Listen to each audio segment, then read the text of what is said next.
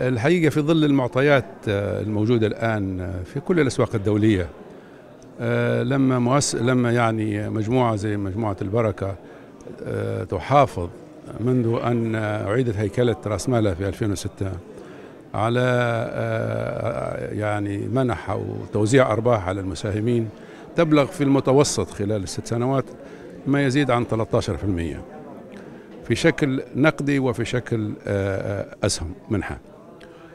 الواقع حتى نكون صريح معك أنه مجموعة البركة الآن بحجمها وتواجدها الجغرافي في العديد من البلدان تحتاج تحتاج إلى زيادة موارد ذاتية. يعني مفروض فيها أنا دائما نقول فيها حتى للمجلس الإدارة والمساهمين أنه مجموعة البركة يجب يكون رأس مالها لا يقل عن 3 مليار دولار.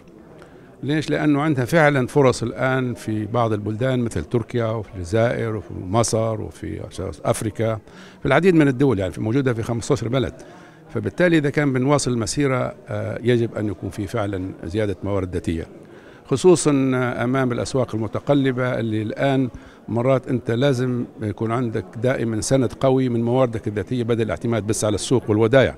لأن الودائع والحصول على الموارد من خارج السوق هذه دائما تتأثر بتأثر الأسواق. وإحنا شايفينها الآن في بعض البلاد العربية. فمن المهم إذا أنه المؤسسة تستبقى بعض مواردها أو بعض أرباحها.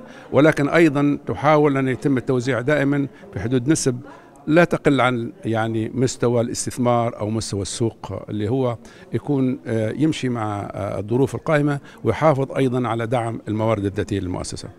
متى من الممكن سيد عبد الله أن يكون الوقت مناسب نوعا ما لزيادة رأس مال مجموعة البركة المصرفية عبر طرح أفضلية أو خلافه يعني؟ هي الآن زي ما ذكرت أنا حتى في عند الافتتاح أنه المجموعة ومجلس الإدارة أنا آخذ قرار بزيادة رأس المال ولكن طريقة زيادة رأس المال هذا دائما يتأثر بظروف السوق. يعني أنت عارف الآن مثلا لما تطلع للسوق زي ما أثير بعض أسئلة على سهم المجموعة في السوق إنه هو ما يمشيش مع قيمته الحقيقية. يعني أنت لما تجي الآن تشوف البوك فاليو أو القيمه الدفترية أكثر من يمكن 1.4 ولا 1.5 ونجينا قاعد في السوق أنا في بنص النسبة هذه أو بنص المبلغ هذا. فليش؟ لأنه ما فيش تداول. أنت عارف الأسهم يعني نقول إحنا تنزاد قيمتها من خلال حاجتين اثنين يا إما توزيع الأرباح المجزية والإنسان بياخذها بس كاستثمار أو أنه في ناس بيشتروها على أساس إن هم بيستحوذوا على شركة أو شيء للحصول على نسبة كبيرة من الأسهم. يبقى ما فيش الجزء الثاني غير وارد لأنه الأغلبية مملوكة من من من من مساهمين وعندهم هذا الاستثمار جيد بيحتفظوا به مجموعة من المستثمرين. فبالتالي عملية السوق لا يعكس قيمة السهم في الوقت الحاضر. لماذا لا يتم إدراج سهم المجموعة في بورصة أخرى إلى جانب بورصة البحرين؟ يعني بورصة البحرين من المعلوم أن حركه التداول فيها ضعيفة. صح.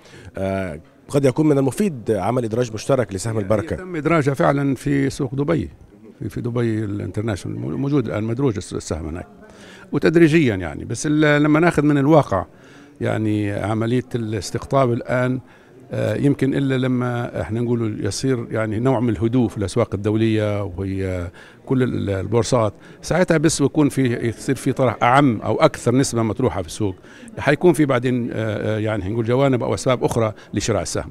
يعني السهم موجود في دبي ولكن تكاد الشاشات تخلو من حركة أيضا على السهم. مش قبال ما هي اللي موجود السبب الرئيسي اللي موجود في البحرين هو يكون موجود في سوق ثاني لأن ما فيش العدد الهائل عدد قليل جدا للي هم مالكين نسبة الأسهم مطروحه للتداول أي نسبة بسيطة اللي هم إيه طيب أخيرا سيد عبد الله كيف تنظر لرؤية المجموعة في توسعاتها وخططها المستقبلية في المدى القصير في 2013 أو في 2014 أنت عارف الآن في فعلا توجه أو في الآن يعني إحنا نقول توجه جديد بالنسبة للصيرفة الإسلامية.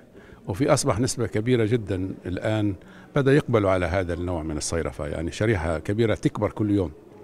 فبالتالي الآن مجموعة البركة فعلا يعني أثبتت خلال هذه المدة أن يمكن من أكثر المصارف أو اللي هي امتهنت نقول إحنا الصيرفة الإسلامية وأثبتت جدارتها في العديد من الدول. فإمكانية التوسع حتستمر. وأنا بنقول بس يمكن يكون في نوع من الهدوء.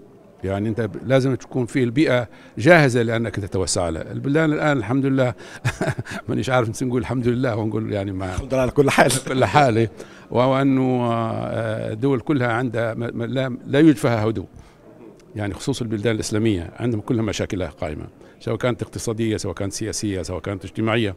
فبالتالي والراس المال دائما زي ما أنت عارف في السوق انه نقول إحنا رأس مال جبان.